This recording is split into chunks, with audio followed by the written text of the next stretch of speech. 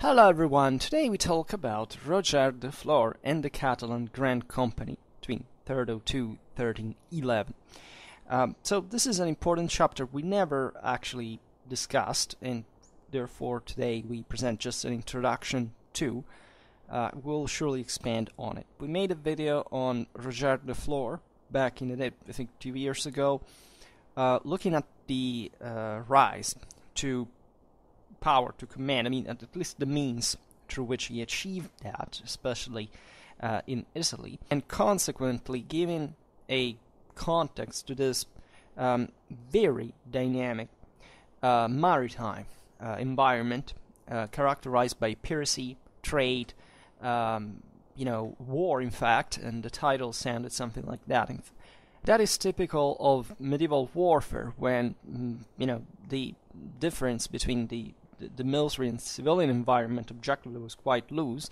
We see it dramatically well in naval warfare. We discussed, for example, Venetian and Genoese warfare in the Levante during more or less the same period.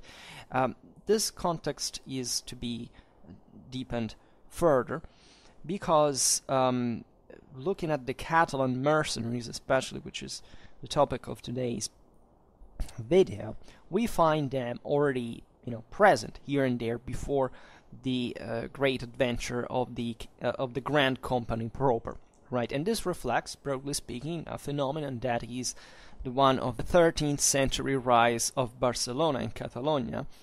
Uh, in in the Mediterranean, broadly meant, this would open, as you know, to the expansion first in Sicily, that to which the in fact the, the birth of the Grand Company is is closely tied to. Eventually, in in the first half of the 14th century, the conquest of Sardinia, and the expansion, in fact, through the same uh, Grand Company, as we'll see today, in in Greece, in Turkey, um, especially of, of, the Aragonese crown that intervened here and there, but this was fundamentally an autonomous, uh, de facto independent uh, company, right? But that had ties back home. We will make other videos uh, about both the this the, Aragonese expansion in Mediterranean because it's it's somewhat complex and non-linear, and when we look at realities like Aragon um, but even within the Kingdom of Aragon, of Aragon and Catalonia, for example, there were deeper differences, and they would remain uh, historically. But, uh, for example, with the Kingdom of Sardinia and the Vice Kingdom of Sicily, we see actually autonomous realities that also behaved a little bit on their own. Sometimes they even were conflictual, one another, aligned themselves with the Angevins. Yes, it did happen, even that, even if you know the, the bitter struggle of of the Sicilian Vespers between the two halves of what was fundamentally the kingdom of Sicily at that point. Um, and therefore, you can imagine already in here, and this is even more evident in, in the Eastern Mediterranean with the decline of, you know, of the Byzantine Empire that had already occurred. Right at this point, the Palaiologi have already re-seized Constantinople, but you know the empire is nothing like it was before.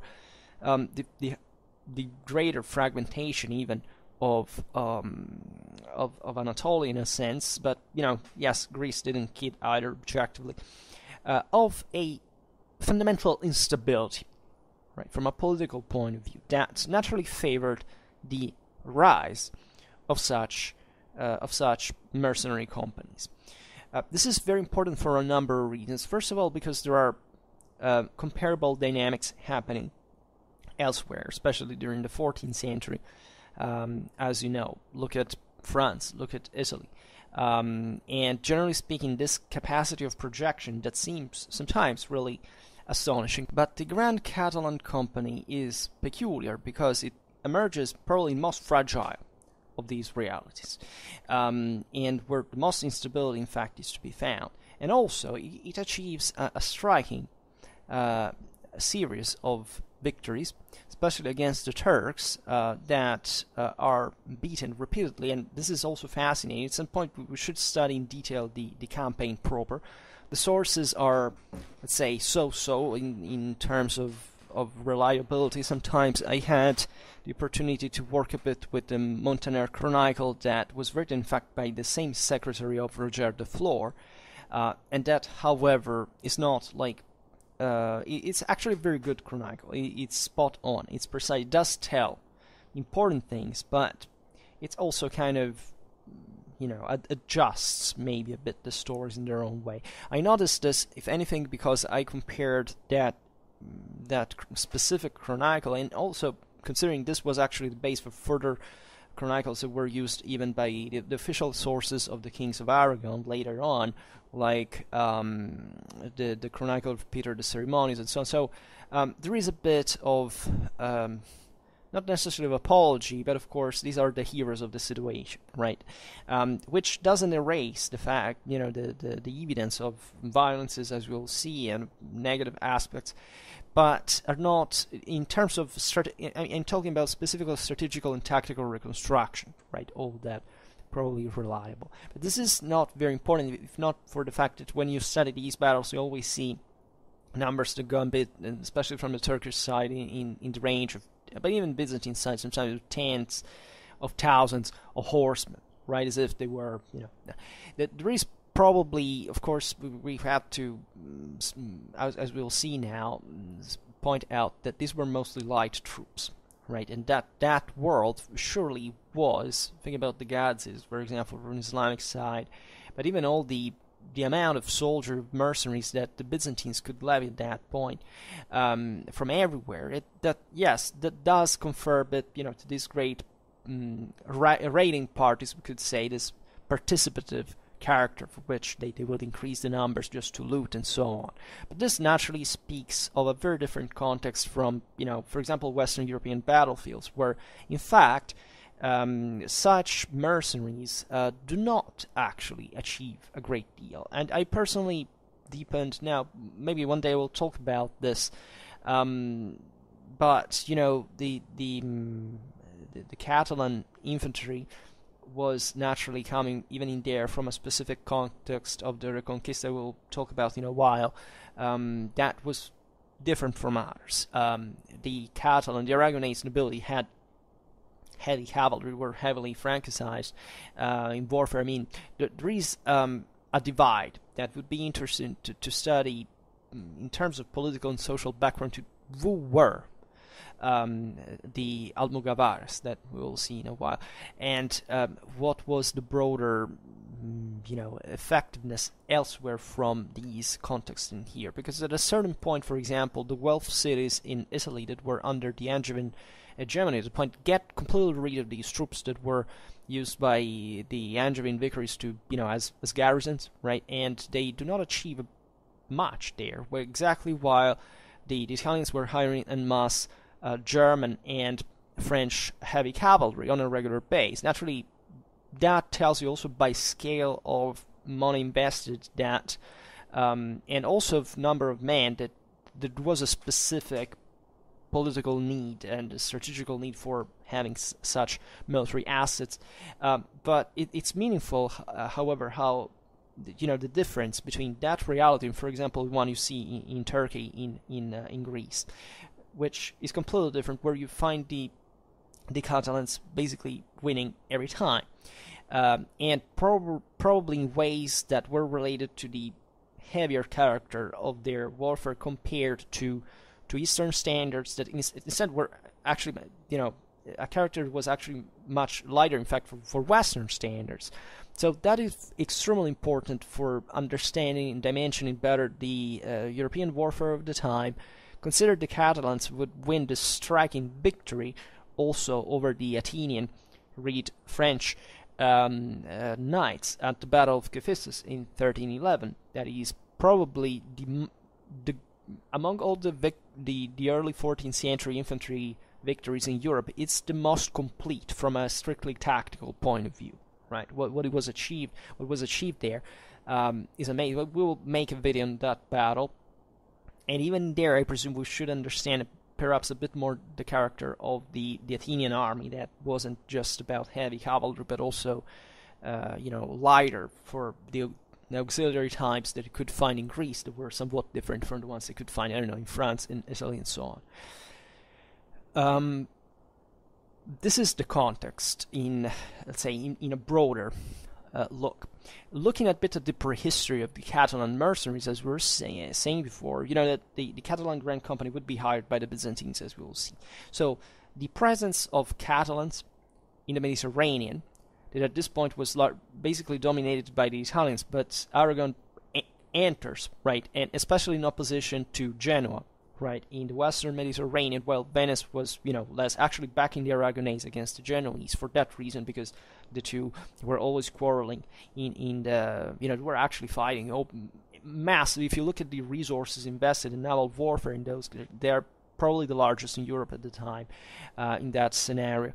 Um, and, uh, I mean, easily, I mean, the, the maritime ones, there's no doubt, but I mean, even in just in, in warfare to core, right? Even terrestrial warfare all over Europe, probably those were the, the greatest capitals spent because the Venetians naturally were uh, and Genoese were battling over the, the control on the eastern routes. Um, and um, so Aragon would rise as a power mostly eroding Genoese power. Then, in fact, also would create other interesting dynamics because the Genoese say, okay, screw it, screw this, and they, they basically open the Atlantic route to reach England, Flanders um, from from the west. Uh, I mean, from from from that route that was not um, open, let's say, uh, with those levels of traffic, and that would trigger other very important um, dynamics. But um, this permeability of markets, uh, also one of war, um, starts witnessing the rise of the Catalans. That would remain, in fact, even up to the Renaissance, together with the Italians, with the major, in fact, maritime uh, even operators, cartographers. I mean, all people were all about the sea um, and uh, their technicality and so on. So we find Catalan mercenaries first recorded in Byzantine service in 1279, so good 20 years before the events of the Grand Company. Um, and also the battle, uh, the the campaign leading up to the Battle of uh, Negroponte. We find corsairs of Catalan origin appearing on occasion in the fleets of the pirates Megas um, Dux uh, Licario, who was um, in fact commander Byzantine fleet um, of Italian origin, and John de lo Cavo, was a Genoese pirate. Um, so even here you see basically what had been in the Byzantine world up to that it would remain like all basically the, the, the navy was all Italian, but it was not until in fact 1302 that however, Byzantines start employing Catalans as land forces, in particular large numbers. Particularly large numbers. Uh, we will see better why, because mm, the background we gave before is starting from the War of the Sicilian Vespers of 1282. You know what happened in there. Basically, Charles of Anjou, king of Sicily, was to launch um, an invasion of the Byzantine Empire, and it would have been wiped out. I mean, the Angevins would have been able to conquer, reconquer Constantinople, and to, you know, at that point, French power would have been challenged everywhere, right? So, uh, the Byzantines and the Aragonese that uh, were enemies of, of, of the French at that point, Aragon would be invaded by you know, had been invaded by the father Philip IV, you know, there was definitely a Ghibelline character of Aragonese policy, um, made Sicily rise uh, against the the Angevins. So much, in fact, that Peter of Aragon landed in Trapani and uh, seized control of Sicily. And this war that w- went on for 20 years, right, engulfed basically the whole southern Italy because uh, now, the kingdom of Sicily was split in two. Both sides claimed actually the title of uh, Sicilian king for themselves so much. In fact, even the Neapolitan kingdom that remained under the Angevins, and however was the strongest one, um, was technically called Kingdom of Sicily. Um, because they, they all wished naturally to reunite the thing. Actually, the Aragonese make it in the end in the mid 15th century, but you know, very different context. At this point, Sicily was definitely the weaker uh, side. But never, nevertheless, the Angevins spent themselves enormously to launch this massive invasions of Sicily, actually leading to, to nowhere, right? And and this prolonged state of warfare naturally made collapse the um, you know the unity the the of the of the Sicilian kingdom, its you know that had been up to that point a very you know important um, reality uh, in uh, in terms of you know statal control and capacity, structural capacity. Instead, from there, there is a major crisis that invests both areas, um, and there is in fact a privatization, as it always happens, also of local affairs of local business. Um, this is where Roger de Flor um, rose from because um, you have to imagine here, I don't know, in, in, all the southern Italian coasts, a lot of magnates, the various barons of, of the kingdom, and now take matters in their own hands. Um, the, the centers of power were somewhat mm, detached from the periphery, and so it was all about business in terms of maritime traffics, including piracy, uh, assaulting each other in the broader theater of the war, but an enormously complicated political scenario uh, where all the, the, Italian maritime republics intervened. The two sides here launched these massive expeditions. They need to subcontract, mm, you know, the supplies, logistics, um, and in all of this, this this various lords and rising captains would would would be in continuous military uh, commitment and uh, fuel piracy, and this went far abroad, also with with the broader Mediterranean traffics and so on. So an extremely dynamic reality because the areas were rich and uh, yet they were all troubled. That would offer, in fact, for, for this very reason, um, an enormous uh, attraction uh, for for whoever wanted to, to make fortune. Also there as a as a mercenary, uh, etc. Um, by uh, thir- 1302, uh, the war was finally ended, would be resumed regularly, but this was the major, you know, you know, tract of it uh, with the peace of Caltabellotta, where Frederick uh, the Third of Ar- of Aragon, king of Sicily, too, um, could finally dispense with the service of those mercenaries that had risen uh, during the war, that had become threatening to the same uh, to the same Aragonese power that was in fact that were in fact formed as the Grand Company of the Catalans under Roger de Flor. Right, this is normal in many contexts. At this point, there is no thing like permanent armies. There's definitely no money to, to pay these guys, even on you know on a uh, ad hoc basis. Um, so the first thing they, they would do when they, they, the war is over and they can't raid and, and pillage and whatever is to probably turn against the their, their own employer. So you have to get uh, rid of them as quickly as you can. And actually, this Grand Company was pretty powerful, right? It wasn't just, you know, other powers had much better control on their mercenaries. Here we're talking about a force of already 18,000 strong, right? And also a very well organized one in logistical terms, in aids, um, um, supplying systems. Um, so um, these were really dangerous, and however could project themselves strategically uh, in, in other theaters, as we'll see now. Um, most of this force was made up of Iberians.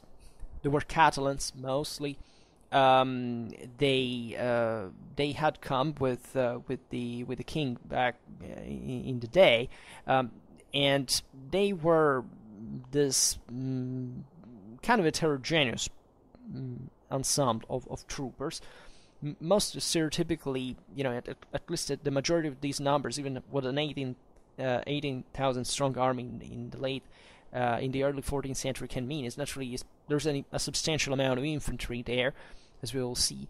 Um, but besides the Catalans, uh, it included Italians, Frenchmen, Germans, and some Aragonese, which tells you that you know they were ju- just next door to Catalonia, but they wouldn't participate in, in the same way.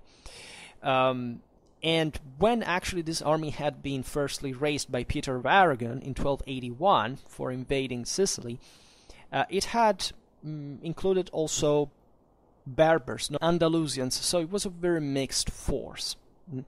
And you know that um, especially the the, the the, the, southern shores, of, I mean the African shores of the Mediterranean, are fundamentally about this kind of lighter warfare that can be seen also in, in Andalusia and in certain parts of the also the Iberian Peninsula because of, if anything, the, the very tough terrain that doesn't quite uh, allow um, the, that favors guerrilla hit and run tactics, and, and, and Spain had also this kind of autonomous communities that were just framed within the, however, ever growing feudal rule. It was a very diverse uh, reality, as we discussed many times. So, uh, Roger de Flor, as it's called, I presume in, in the same Catalan sources and in a, also in a bit French-sounding way sometimes.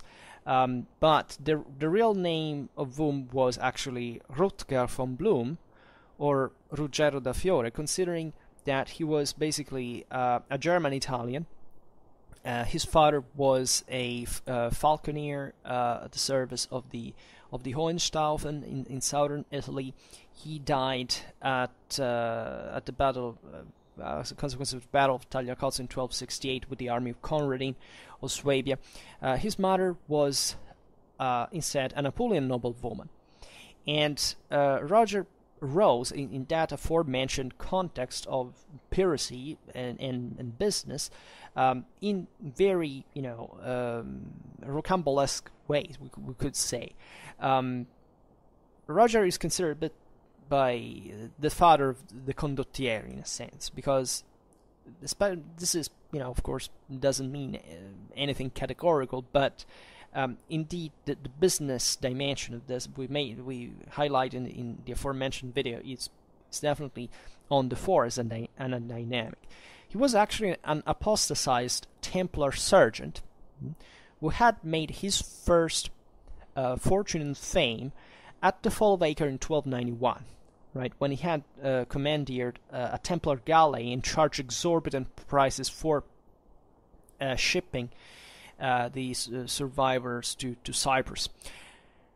That tells a bit the guy. In fact, he eventually rose uh, as a commander. He went back to Italy, he rose as a commander. He, he was excommunicated right, for his uh, deeds in that sense, and also because of his mm, double playing against the, the, the Papal Angevin bloc and so on. Um, so he mm, spent considerable time as a captain, as a pirate captain of a Genoese ship, because the Genoese were the most involved in the in the wars of the Sicilian um, naval forces wise. Um, and Roger joined eventually the mercenary troops of Frederick uh, III in, in Sicily, becoming thus commander of the Catalan Grand Company. Um, and uh, he um, made his fortune at that point, abandoning Italy and going to serve, to sell his services to the Byzantine Emperor Andronikos II against the Turks in exchange for several privileges. Right, so here the, the Aragonese Byzantine connection continues because naturally uh, the Angevins, when, in the sense allied with the Turks, I mean that was more or less the, the it, it, was way more fragmented than like that in terms of political sides, but it, it functioned like that. As we've seen, the Byzantines were, you know, would have been the next Angevin target, and the Aragonese had, you know, blocked uh, the the invasion. Um, Roger acquired an enormous prestige at court. He was um, appointed as Megas Dux, that was basically the commander of the imperial forces.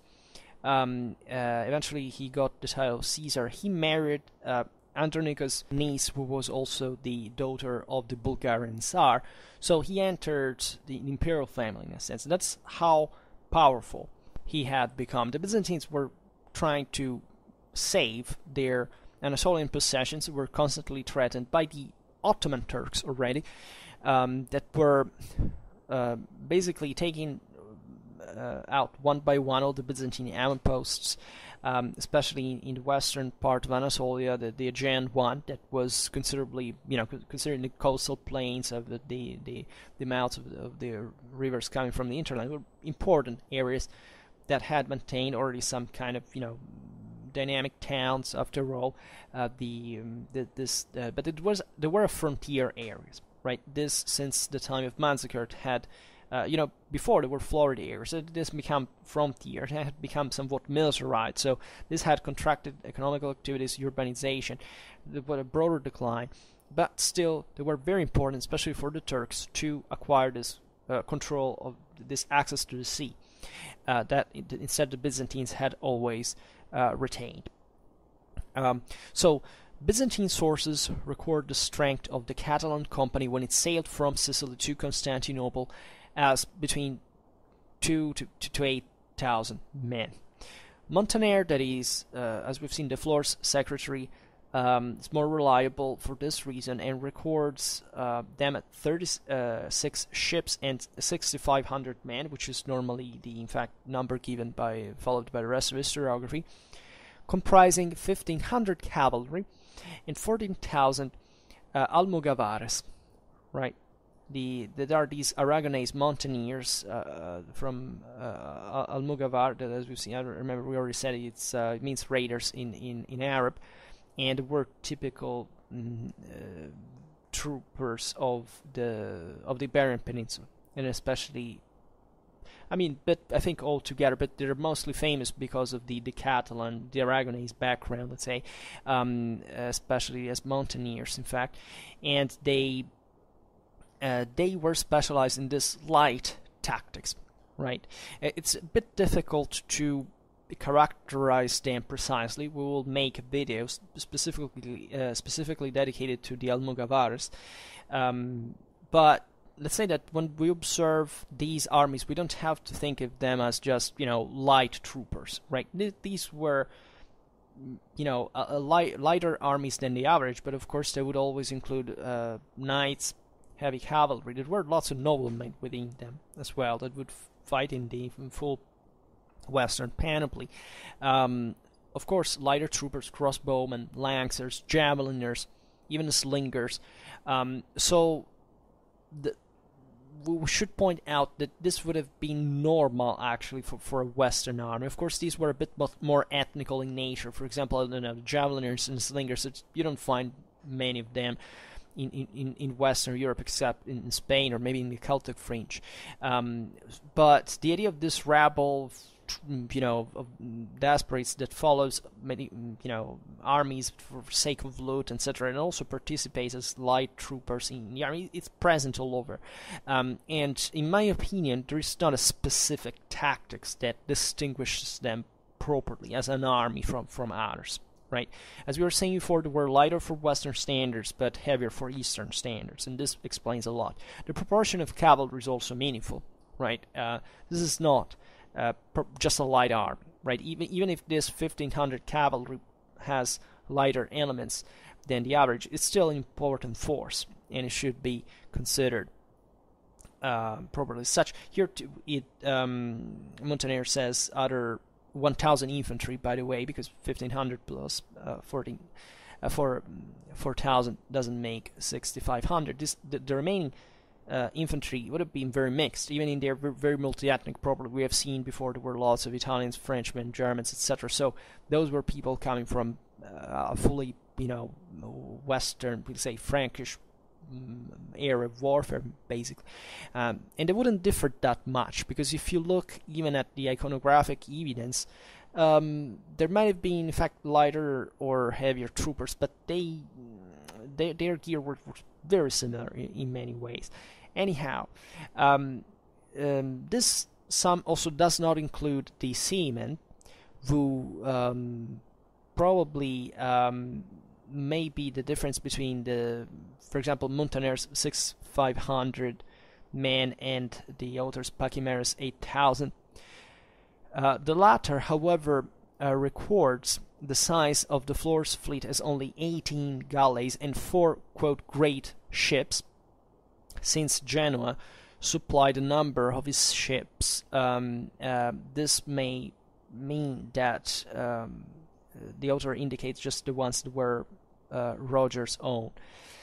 In any case, the, the important thing is that by the spring 1303, the Catalans numbered around 6,000 men, which is not a few, it's a real army right? It's uh, as we've seen, it's probably also very well articulated. Um, organically speaking, it's well supplied. Um, and at, at, his arrival in, at Constantinople, de Flor, as we've seen, was appointed immediately uh, Megas Dux. Um, this was a term of properly of, of the hiring contract, right? Um, and there was some trouble in the capital, though, because the Genoese um, rebelled against uh, this appointment as they feared uh, Catalan interference in their markets. Um, so there, there were scuffles in which thousands of them were killed by the Catalans. That, however, you know, um, co- having caused also this this trouble, generally speaking, in the city, were you know promptly shipped over to Asia Minor to, to get them to get rid of them because the, this is exactly the point. You need these troops to, to go fight you. You appoint them, you give them privileges and so on individually to their leaders, but then you you send them away. These guys have to leave us something. They can't burden your uh, your your your trunks. Uh, your they they you know they, they can't make the, this violence around. Um, and you know that the Byzantines, generally speaking, were rightfully distrustful of, of, of foreigners. And that's how Roger de Flor began his campaign against the Turks. And there is this astonishing series of victories that we can't list uh, individually, but it's a very complex. We are also very well informed about the, the, the broader movements thanks to Muntaner. The, the most famous engagements are the ones in Cyzicus, Philadelphia, and the and the Cilician Gates. Um, so that tells you also how far into Anatolia they, the, the Catalans pushed because they literally began to defeat time after time this, this Turkish armies. Chiefly uh, I mean, if you make a sum of all the the dead according to the chronicler, um, uh, you know, you have up to fifty thousand kills, right? Something in, in several engagements objectively, but you have these large numbers um, that can be probably criticized, but nevertheless, the the story, uh, how the story is told, shows you, uh, after all, plausible um, you know, strategical and tactical development in the sense that the Catalans were pushing mostly on, on this, you know, surprise effect, ambushes, um, sometimes, however, charging also straight, which tells you that probably they were, um, you know, and coming to grips with the Turks to, so that, to say that they they weren't that heavy, um, you know, un- unwieldy cavalry that would exhaust itself in pursuing them, but they were enough armored also to to fight uh, to charge them and to, to, repeat this charge, by the way, and to eventually, make them flee.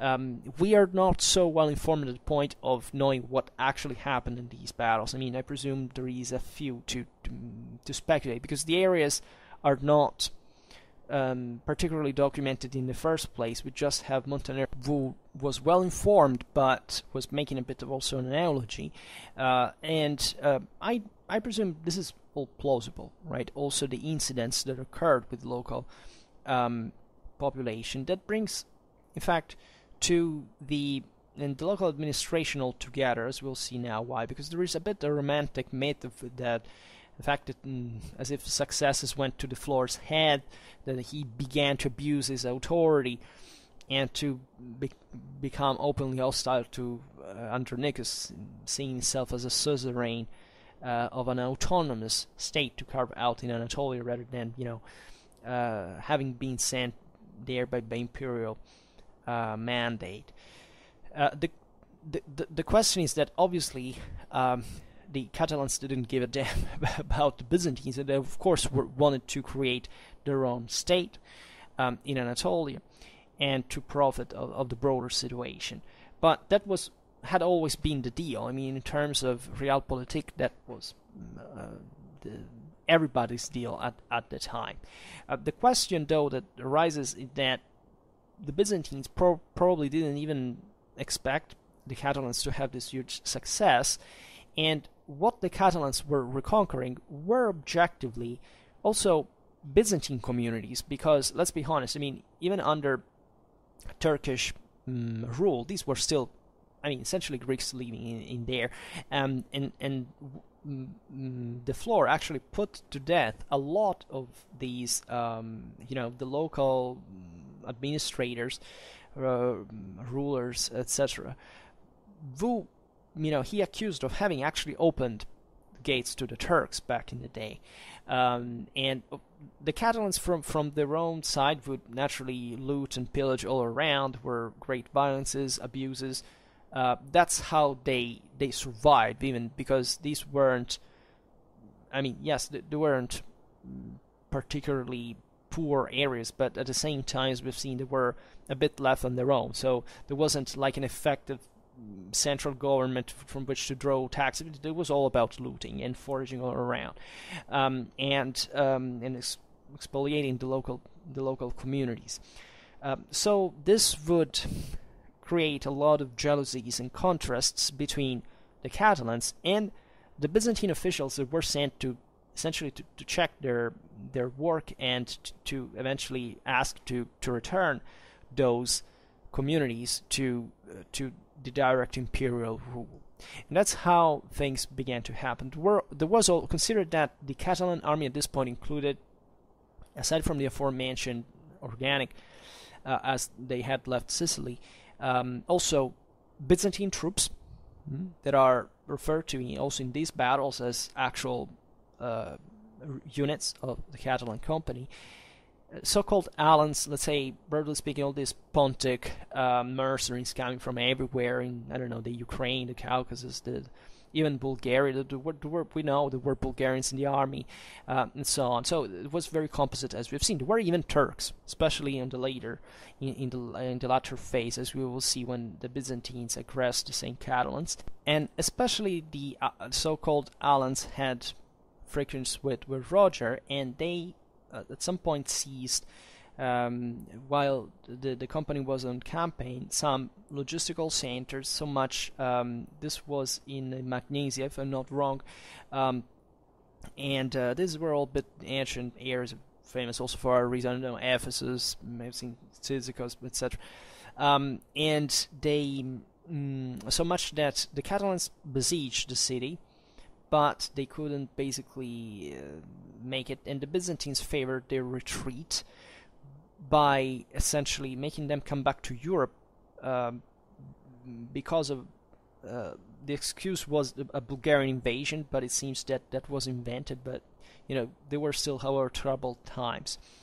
Um, in fact, initially the Byzantines had also requested the C- uh, Roger, now who had acquired the rank of Caesar to reduce the number of his troops to 3,000. Um, incidents had continued. So at this point, uh, the new the new Byzantine ruler was Michael IX. It was Andronicus' son and briefly co-emperor, um, and he re- uh, resolved himself to have de Flor assassinated uh, in uh, 1305 at Adrianople. Were, the Catalans were invited to a banquet, and there was a carnage um, from which 30, uh, 2,300 of them were killed. At this point, the Catalans started being persecuted all over the empire, weren't hunted down and massacred. Uh, Muntaner, on this occasion, records that uh, their their numbers was reduced to 3,300 men and 200 horses. I don't know whether he means actual cavalry, but whatever. And um, this is an important blow because the company had remained without leader, was demoralized. Therefore, the majority of the survivors disbanded, but some nuclei remained intact and lived on with their with their advantage. Because consider this in this situation was any kind of violence for, from all sides. Were private magnates even in in in, in Greece and in, even in the Byzantine held territory that would you know fight against. I mean, private wars. It, it, it's a freaking mess, right? And uh, we know that 1500 Catalans that were actually a mixture between Almogavares and Frenchmen that um, were, especially the latter, together with Catalan knights, were undoubtedly providing the cavalry element because the French were most likely. But could also not be depends. I should check the sources honestly because the France, broadly speaking, was also somewhat varied. There were uh, important infantry similar to the Catalans one, uh, Catalan ones also in Occitania, um, southern France. I mean, um, and this army actually stormed Gallipoli, on the Dardanelles, yes, the same one of World War First, um, and entrenched themselves in there, forming effectively a Catalan uh, stronghold from which they kept mm, looting around. Um, in fact, they successfully repulsed two Byzantine attacks. This base was gradually reinforced by motley bands of adventurers. So the, they were coming literally from everywhere. Plus, uh, some 3,800 Turcopoles and Turks. We're talking about um, 8, 1,800 cavalry and 2,000 infantry in the case of the latter that had deserted from the Byzantines. This is interesting because uh, in the video we made on the Turcopoles, we observed how by this point uh, the term doesn't mean uh, anything more than just the, the, the, tactical specialization of horse archery or even in there also heavier cavalry. I mean, it was always like that, a nucleus of heavier cavalry and lots of horse archers. Um, and, and no ethnic connotation because it was plenty of Greeks uh, this time that would simply mm, go fight uh, in the east as Turcopoles because of the fame that the name had acquired. There were also a lot of Franks, like in Cyprus, etc., were namely Turcopoles. Um, they mm, some of them were issued actually by the Lusignan to fight as heavy cavalry, as we were saying now. Um, and it was plenty of same Turks in the same Byzantine army. So, and the Turks here do not stand just because of a specific national tactics, but you know, horse archery was pre- present all over the Balkans, Anatolia, uh, the Nordic Pontic area. So it was a bit the standard in this uh, reality that being so politically uh, fragmented and unstable, because Greece was turned into a, a mass of various uh, states, um, they would always find their way from from the Danube, from so to, to raid, to pillage. To the, the Bulgarians, you know, uh, traditionally also fought with important horse archery. Um, so it's I would like to leave you with this picture of a of a more courageous um, West in terms of political and social structures, and this East that now had been basically, you know, the Byzantine Empire had been disintegrated. Um, Islam, the Islamic areas were also all uh, fr- fragmented, um, and was plenty of these um, se- still semi-nomadic people living uh, around Black Sea and, and, so on that would transform these areas into just a, a place to loot right? And that's why, in the first place, all the Catalan Grand Company had gone fighting east, because even in the west, even just their tactics would have, you know, were would have not been so effective. We know it, right? Because in Western Europe, they didn't achieve that big deal much, because in there, warfare was having, heading ever more towards heavy cavalry, massive numbers, specialized bodies of infantrymen, crossbowmen, pikemen. I mean, there was a you know a much harder way of war. This was uh, was was uh, softer in terms of lighter troops, right? More mobility, more speed, living at the moment, in a sense. Um, and that's why these guys wouldn't find properly a job as you know fixed mercenaries under somebody, would would basically tour around. Uh, that reflects the broader political and social fluidity of that world. Um, ultimately, internal dissension forced the same Catalans to abandon Gallipoli and split up again. The largest part it was between 8 to 9,000 men, including 3,000 Turks, marched inland into Thessaly in 1308, and they finally headed towards the Frankish Duchy of Athens, where they were employed by the local Duke Gauthier de Brienne hmm, who first employ actually uh, used them against the Byzantines mm-hmm. and the Duchy of Neopatras that we'll see in a while. From from whom they, they seized over 30 fortresses for him within six months, right? But again, same dynamic repeating. When peace was concluded, the Duke wanted to get rid of them, um, and he especially didn't have any money to to to maintain this pretty large number of troops. So he granted them initially lands, uh, but just to a small part of them, like 500, namely 200 cavalry and 300 infantry.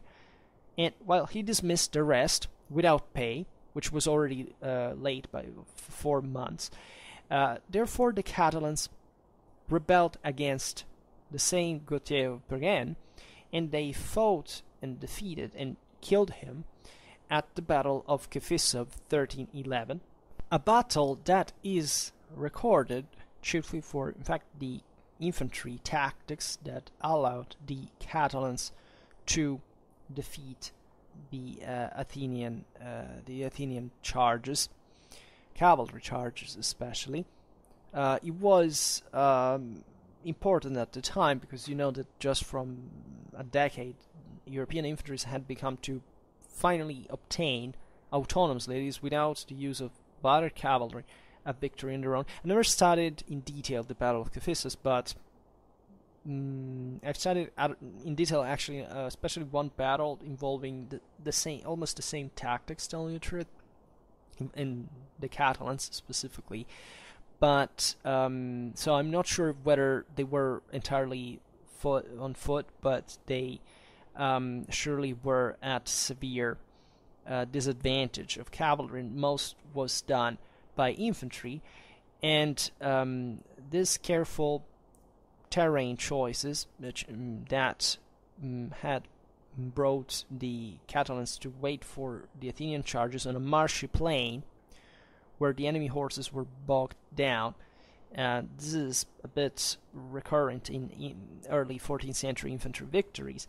Um, and even in there, we don't have to think of Athenian cavalry being incompetent or that, you know, somebody's stupid because it loses a battle. You know, most people wouldn't be able to do better, and most of the times in history, commanders do the not even the right, but the only possible thing uh, to do. So never underestimate somebody just because he's defeated, because it doesn't make much sense.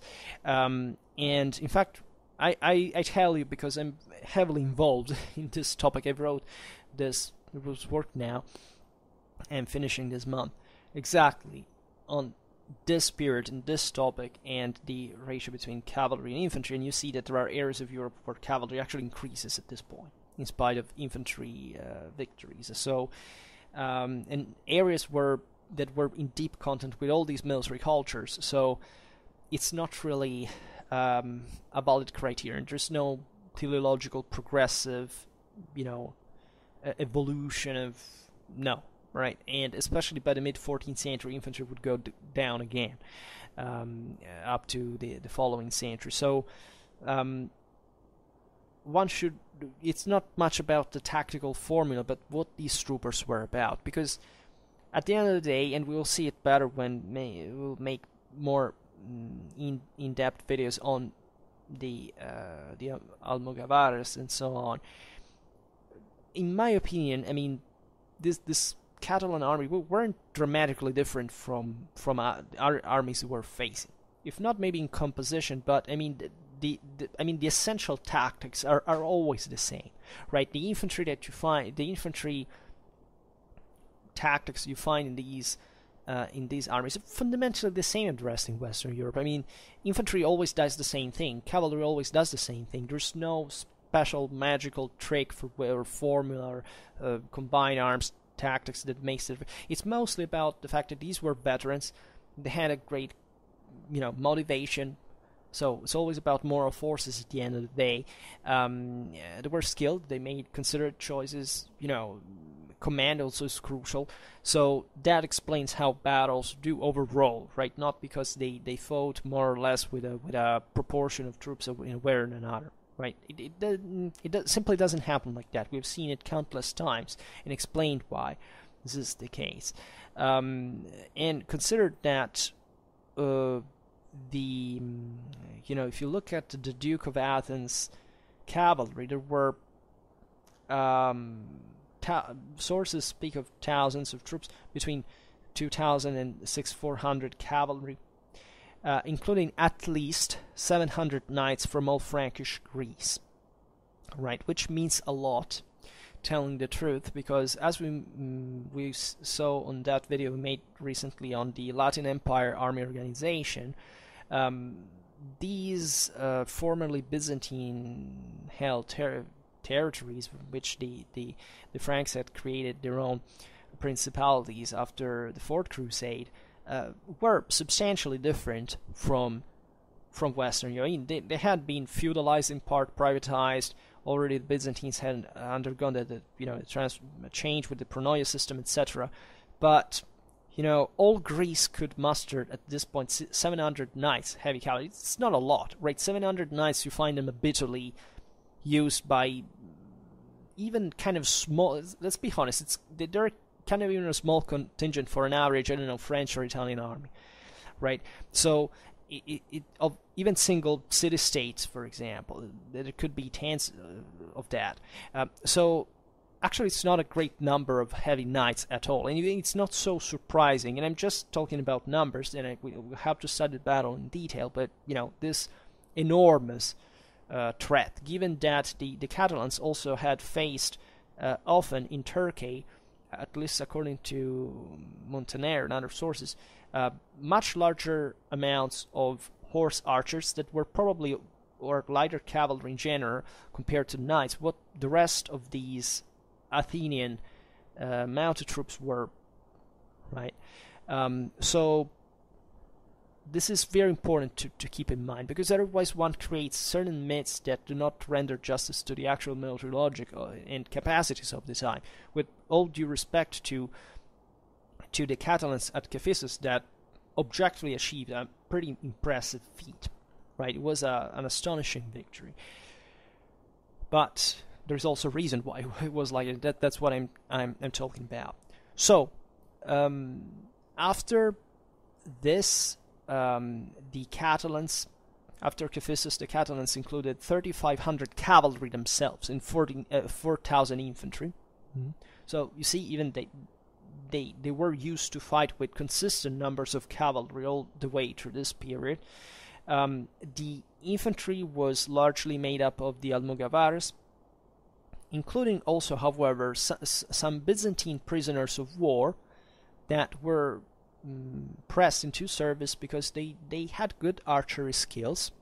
This is also important to, to realize because in Byzantine warfare, that had become from quite a long, you know, talking about centuries and centuries, an important aspect of of infantry training, archery right? And that's what you do if you if you're an empire who's constantly surrounded by semi-nomadic peoples that come at avalanches against you, and you have to necessarily either hire them or learning how to fight like them, or simply both.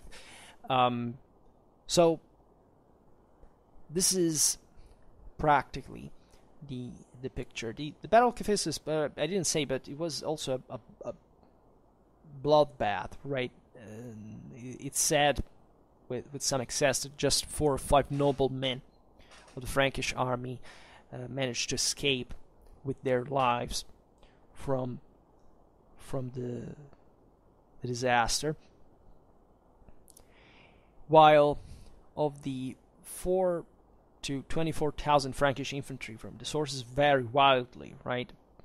Uh, Muntaner claims that 20 thousand were killed. naturally, he's the one talking about. And that that's kind of the Muntaner is not new to these things. Like he, he does it even, for example, at the Battle of Lukasisterna um, against the peasants, um, where were, uh, in fact, Almogavar employed by the Aragonese on that occasion. So it's a bit excessive. That there is one thing I like of Muntaner specifically is that he's he's a chivalrous minded attitude, a bit like all the Aragonese chroniclers that are, you know, he's he comes from the lower strait, but even, you know, the official sources are a bit obsessed with chivalric feats and they're they're a bit fictional, fantasy, scientific in the way they describe certain encounters. Um, but he, in this sense, renders justice to the enemies, right? He he, you know, if they fought well, he appreciates them. He said they fought well. He praises them in a sense, but you know these numbers, as also the one of the Turkish campaign, are excessive, right? Uh, one doesn't believe them. If anything, because these people are too many, and also the losses are too high. Um, it doesn't work like that, right? So we're talking about much more contained numbers, uh, both in absolute terms and the relative ones of, of, of the killed. But still, that tells you how effective at the end of the day, the, these troops were in that context in a way or another. This is true, at least the opinion I form myself reading this stuff is that yes, th- th- that they actually achieved this these results all in a row, even if their story is told um, exactly to, to, praise them in, in that side. Um, that was like a bit the end, however, of the Catalan Company. Um, thereafter, the Duchy of Athens itself became a Catalan state, which lasted down to 1379, which uh, when it was taken over actually by the Navarrese. So we're talking about, after all, uh, Catalan neighbors, and uh, the Acciaiuoli uh, family that was ruling Corinth. Uh, that eventually would hold uh, the Duchy of Neopatras up to up to the Ottoman conquest, fundamentally. So this is a bit the introduction to the to the story, right? And as I was saying before, we will talk about this more. I plan to make at least other three or four videos about the Catalan Grand Company because it deserves attention, and especially it uh, allows that comparison that it it's not always to be found so easily in military history of the you know of an army fighting against multiple opponents, right, and having enough, um, you know, surrounding information to, to make broader comparisons and uh, analogies, as we we have done today, observing the fact that, for example, in other theaters, the Catalans were properly expelled because they, they said the Florentines, for example, after Battle of um, of uh, of Altopascio in 1325 sent to the um,